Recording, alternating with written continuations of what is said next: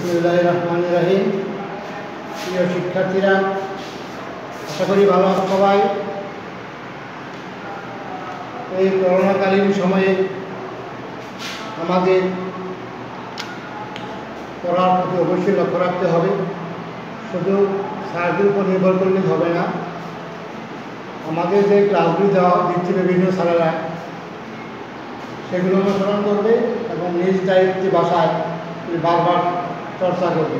তাহলে ইনশাল্লাহ হয়ে যাবে সব কিছু আজকে আমাদের পড়ার বিষয়বস্তু হচ্ছে বাংলাদেশের বিভিন্ন নৃগোষ্ঠী আমরা সপ্তম শ্রেণীতে সেগুলি করেছিলাম তবে সংক্ষিপ্ত আকারে আজকে আমরা একটু বিস্তারিত আকারে করব তো দেখা যাক বাংলাদেশের বৃহত্তর নৃগোষ্ঠী বাঙালিদের পাশাপাশি আর আরও বেশ কিছু ক্ষুদ্র নৃগোষ্ঠীর মানুষ দীর্ঘকাল ধরে এ দেশে বসবাস করে আসছে। যেমন চাকমা, গারো, সাঁওতাল, মারমা রাখাই পুরাণ পঞ্চা ইত্যাদি। এখন আমরা জানব তাদের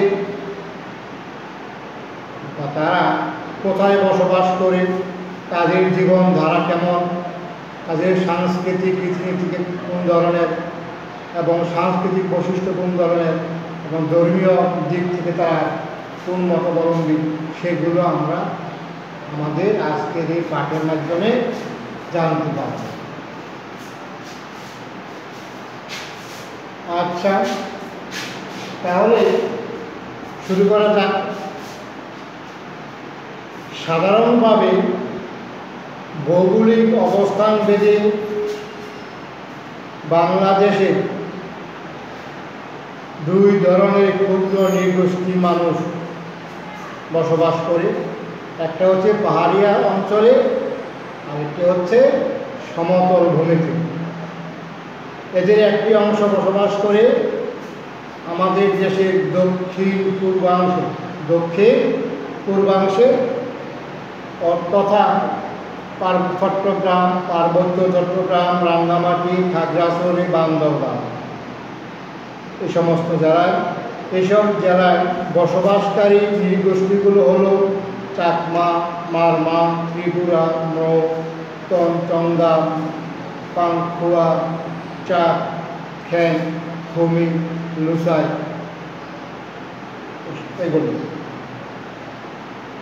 নৃতাত্ত্বিক বিচারে এরা মঙ্গলীয় নৃগোষ্ঠীর লোক। ইম্পর্টেন্ট প্রশ্ন কিন্তু নৃতাত্ত্বিক বিচারে এরা মঙ্গলীয় নৃগোষ্ঠীর লোক। কোন নৃগোষ্ঠী? মঙ্গলীয় নৃগোষ্ঠীর লোক।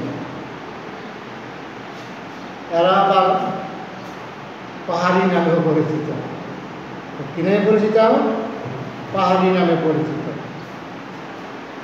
সাধারণভাবে আমাদের ভৌগোলিক অবস্থান ভেদে বাংলাদেশে ক্ষুদ্র নৃগোষ্ঠীতে দুটি অঞ্চলে বসবাস করতে দেখা যায়। একটা হচ্ছে পাহাড়ি পার্বত্য অঞ্চলে আর একটা হচ্ছে সমতল ভূমিতে। বাংলাদেশের উত্তর পূর্বাংশে মঙ্গলীয় নৃগোষ্ঠী বসবাস করে কোথায়? উত্তর পূর্বাংশ। আর আগে বলেছিলাম কি? দক্ষিণ পূর্বাংশ তথা পার্বত্য অঞ্চল। কথাগুলো মনে রাখলে আমাদের পরীক্ষায় উদ্দীপকগুলো ধরতে সুবিধা হয়। এগুলো বারবার পড়বে তাহলে পরীক্ষায় উদ্দীপক ধরতে কোনো সমস্যা হবে না। আচ্ছা বাংলাদেশের উত্তর পশ্চিমাংশে আছে দিনাজপুর, রংপুর, রাজশাহী, বগুড়া, পাবনা। প্রভৃতি এলাকায় বসবাস করে কারা? সাঁওতাল উরাও মাহালি মুন্ডা মালপাহাড়ি মালব ইত্যাদি নৃগোষ্ঠী এরা মূলত সমতলবাসী হিসাবে পরিচিত। তাহলে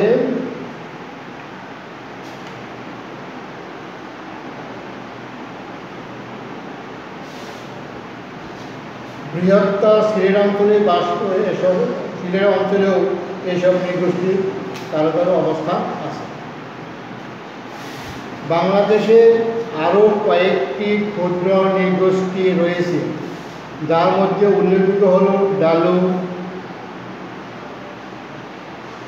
হদি রাজবংশী, বর্মন, বানাই, পাহাড়, মাহাতো কো বৃহত্তর সিলেট, গাজীপুর, ময়মনসিংহ ও টাঙ্গাইল জেলার বিভিন্ন স্থানে এরা বসবাস করে। আচ্ছা তাহলে আমরা যে পাঠটুকু পড়লাম, সেটা সার বস্তু কি আসলো তাহলে? যে আমাদের বাংলাদেশে বাঙালিদের পাশাপাশি কিছু ক্ষুদ্র নৃগোষ্ঠীও বসবাস করে আসছে। আর এই ক্ষুদ্র নৃগোষ্ঠীগুলো অবস্থান বেঁধে বাংলাদেশে দুই ধরনের ক্ষুদ্র নৃগোষ্ঠী আছে। একটা হলো পাহাড়ের পাহাড় পার্বত্য অঞ্চলে বসবাস করে, আবার কেউ কেউ সমতল অঞ্চলে বসবাস করে। আমাদের দেশের একটি অংশ পার্বত্য চট্টগ্রাম, বিশেষ করে দক্ষিণ দেশের দক্ষিণ পূর্বাংশ তথা পার্বত্য চট্টগ্রাম, রাঙ্গামাটি, বান্দরবান, খাগড়াছড়ি প্রভৃতি যারা এরা বসবাস করে, তারা হচ্ছে তোমার চাকমা, মারমা, ত্রিপুরা নৌতনচন্দা বম পাংখোয়া ইত্যাদি। নৃতাত্ত্বিক হিসেবে এরা মঙ্গোলীয় জন নৃগোষ্ঠীর লোক এবং তারা পাহাড়ি নামে পরিচিত। তেমনইভাবে বাংলাদেশের উত্তর পূর্বাংশে মঙ্গোলীয় নৃগোষ্ঠী বসবাস করে। এর মধ্যে বৃহত্তর ময়মনসিংহ অঞ্চলে বাস করে গারো হাজং কোট বৃহত্তর শ্রীর অঞ্চলে বাস করে তোমার খাসিয়া মণিপুরি প্রভৃতি, কক্সবাজার ও পটুয়াখালী ও বরগুনা যারা উপকূলীয় অঞ্চলে বাস করে আবার রাখাইন। তাছাড়াও আছে বাংলাদেশের উত্তর পশ্চিমাংশে দিনাজপুর, রংপুর, রাজশাহী, বগুড়া পাবনা প্রভৃতি অঞ্চলে বাস করে তারা। সাঁওতাল উরাও মাহালি, মুন্ডা, মাল, পাহাড়ি মালক তার। তেমনইভাবে বৃহত্তর শ্রীরাঞ্চল আছে তাহলে আমরা এতক্ষণ আমাদের প্রধান প্রধান ক্ষুদ্র নৃগোষ্ঠীগুলোর নাম আবাসস্থল এবং নৃতাত্ত্বিক যে পরিচয় সেটা জানতে পারে না। তারা কোথায় বাস করে, তাদের নাম কি, এবং তাদের পরিচয় কি? এখন আসি চাকমা সম্পর্কে। চাকমা, এক নম্বর হলো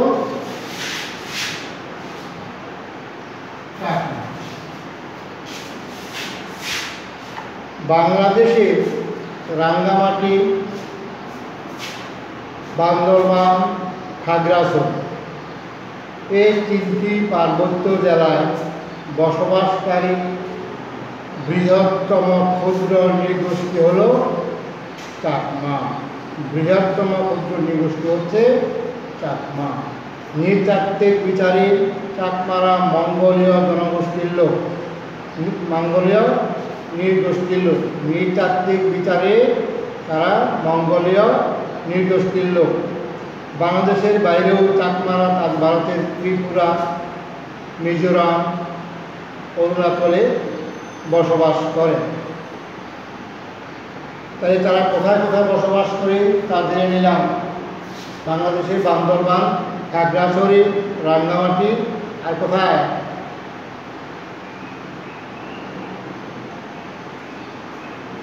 এই তিনটি পার্বত্য জেলায় বসবাস করে। আর বাংলাদেশের বাইরে বসবাস করে ত্রিপুরা, মিজোরাম এবং অরুণাচল। এখন দেখা যাক তাদের সামাজিক জীবন কেমন। চাকমা সমাজের মূল অংশ হল পরিবার। কয়েকটি চাকমা পরিবার নিয়ে গঠিত হয় আদম বা পাড়ান পাড়ার প্রধানকে বলা হয় কারবারি। কয়েকটি পাড়া নিয়ে গঠিত হয় মৌজা। মৌজার প্রধানকে বলা হয় হ্যান্ডম্যান কারবারি ও হ্যান্ডম্যান মিলে যথাক্রমে পাড়া ও মৌজার শান্তি শৃঙ্খলা রক্ষা করে। কয়েকটি মৌজা মিলে চাকমা সার্কেল গঠিত হয় এবং এর প্রধান হলেন চাকমা রাজা। চাকমা সমাজে রাজার পদটি হয়ে থাকে তোমার বংশানুক্রমিক? চাকমা সমাজ বরাবরই পিতৃতান্ত্রিক অর্থাৎ চাকমা পরিবারের পিতাই হচ্ছে প্রধান। অর্থনৈতিক জীবনে আসছে, চাকমাদের জীবিকার প্রধান উপায় হচ্ছে তোমার কৃষিকাজ। তারা যে পদ্ধতিতে কৃষিকাজ করে থাকে, তাকে বলা হয় জোম। এই জোম পদ্ধতিতে ঘুরে ঘুরে অর্থাৎ স্থানান্তরের মাধ্যমে তারা চাষাবাদ করে। পাহাড়ের বনভূমি কেটে পুড়িয়ে অল্প কয়েক বছর চাষাবাদ করার পর দীর্ঘ সময় ওই স্থান ফেলে রাখা হয়। জমির উর্বরতা শক্তি বৃদ্ধির জন্য। তবে বর্তমানে সময়ে তারা হাল চাষেও অভ্যস্ত। তারপরে আসো ধর্মীয় জীবনে তারা চাকমারা বৌদ্ধ ধর্মাবলম্বী।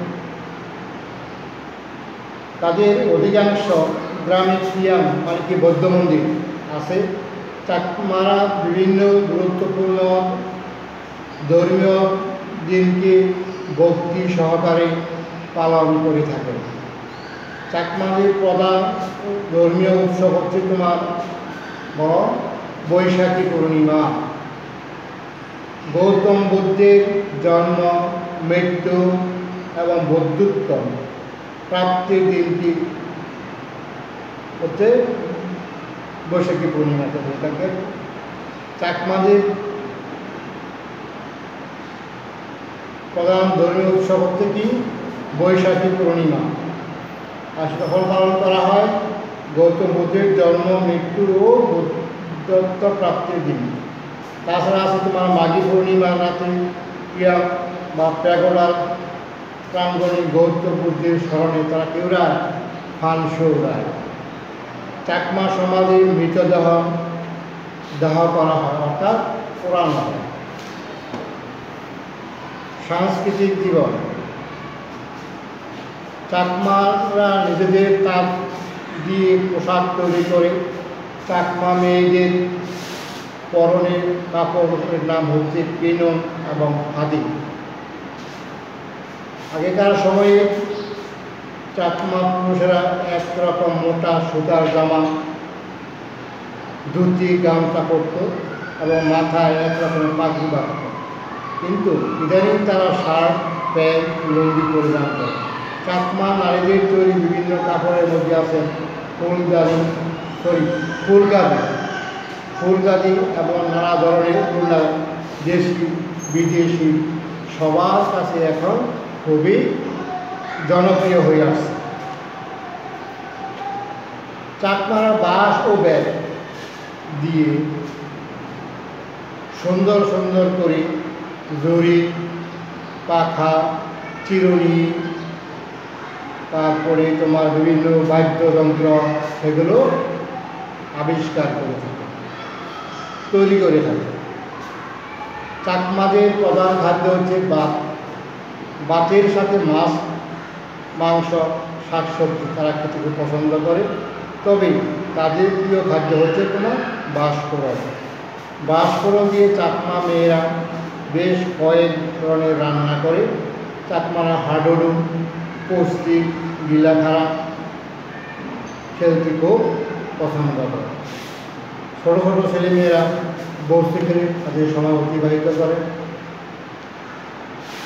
চাকমাদের সবচেয়ে জনপ্রিয় এবং সর্ববৃহৎ যে উৎসব, সেটা হচ্ছে তোমার বিজু। বাংলা বর্ষের শেষ দিন এবং নববর্ষের প্রথম দিন চাকমারা কিছু উৎসব পালন করে। ক্ষুদ্র, অন্যান্য ক্ষুদ্র নৃগোষ্ঠীর মতো বা তুলনায় চাকমারা তুলনামূলকভাবে বেশি শিক্ষিত চাকমাদের রয়েছে কি? নিজস্ব ভাষা ছিল আমাদের চাকমা এখন আসি আমরা গারো বৃহৎ গারোরা বসবাস করে গারোলে। গারোরা বসবাস করে তোমার বৃহত্তর ময়মনসিংহ জেলা বসবাস করে। তাছাড়াও আছে তোমার টাঙ্গাইলের মধুপুর, নেত্রকোনা, শেরপুর, জামালপুর, গাজীপুরে শ্রীপুরে বসবাস করে। বৃহত্তর সিলেট জেলায়ও কিছুটা গারো রয়েছে। বাংলাদেশের বাইরে ভারতের মেঘালয় এবং অন্যান্য অঞ্চলেও গারোরা বসবাস করে। বাংলাদেশের গারোরা সাধারণত সমতলেরই বাসিন্দা। গারোরা সাধারণত মান্দি নামে পরিচয় দিতে বেশি পছন্দ করে। কী নামে? মান্দি নামে। গারোরা মঙ্গোলীয় নৃগোষ্ঠীর লোক। চাকমারা কি ছিল? মঙ্গোলীয়। চাকমা এবং গারো উভয়ই কি মঙ্গোলীয় নৃগোষ্ঠীর লোক। গারোদের সমাজ ব্যবস্থা হচ্ছে মাতৃতান্ত্রিক মানে মাতৃসূত্রীয় তাদের সমাজের প্রধান হচ্ছে বা পরিবারের প্রধান হচ্ছে মাতা। সন্তানেরা মায়ের উপাধি ধারণ করে পরিবারের সর্বকনিষ্ঠ কন্যা পরিবারের সম্পত্তি উত্তরাধিকারী লাভ করে থাকে। গারো পরিবারের পিতা সংসারের সংসার ব্যবস্থাপনার দায়িত্ব পালন করে। গারো সমাজের মূলে রয়েছে মাহারি বা মাতৃগোত্র পরিচয়। তাদের সামাজিক জীবনে বিশেষত বিয়ে, উত্তরাধিকারী, সম্পত্তি ভোগ দখল ইত্যাদি এই মাহারির গুরুত্ব অপরিসীম। মাতার বংশ ধরে গারদের চাকচিত মানে গোত্র মাহারি মানে মাতৃগোত্র নির্ণয় করা হয়। কারণ সমাজে একটি মাহারির পুরুষ ও নারীর মধ্যে বিয়ে নিষিদ্ধ। বড় কণকে ভিন্ন ভিন্ন মাহারির অন্তর্ভুক্ত হতে হয়।